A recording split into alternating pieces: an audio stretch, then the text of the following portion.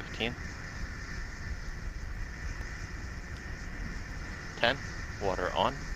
8, 7, 6, 5, 4,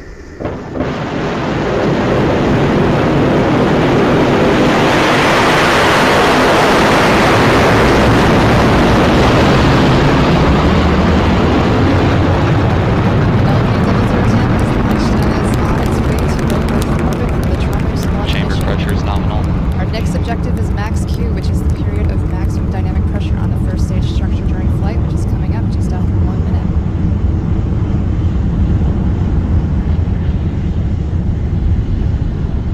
There's a tracking shot of the rocket ascending from Cape Canaveral on its way to space. Confirmed. Option received.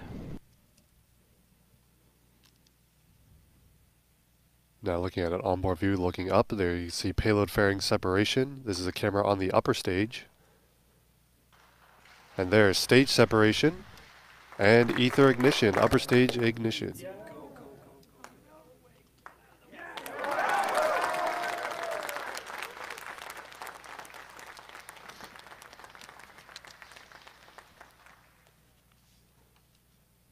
Now the upper stage will burn for just about five minutes on its way to low Earth orbit.